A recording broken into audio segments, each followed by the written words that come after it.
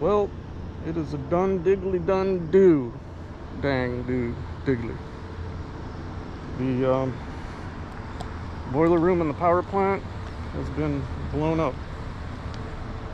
I did not record it. Um, I was shooting it. And I should have been recording, but I forgot my GoPro tripod. But that's okay. So I, I decided to come up here. This is an old old parking lot from when I was a kid. This is actually a rooftop. It's all dilapidated and stuff. Nobody parks up here. But I used to ride my skateboard when I was a kid through here. Yeah. Long-term Avon Laker. That's that's my town, I guess. Um, kind of had a little tailgate party up here with some other people. Um, a lot of people came in. There were drones all over. I mean, there's still a lot of activity.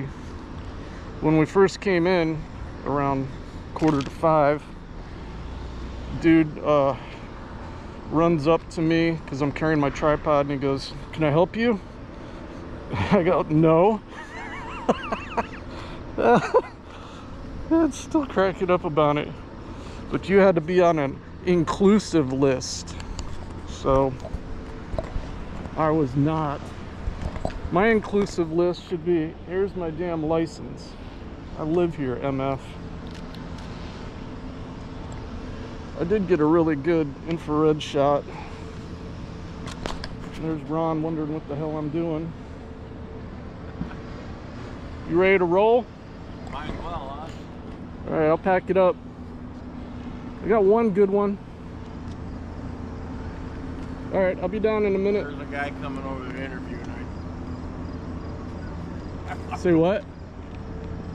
Interviewing over there. I don't want no part. Oh, I might. Be good publicity. All right, it's time to pack up.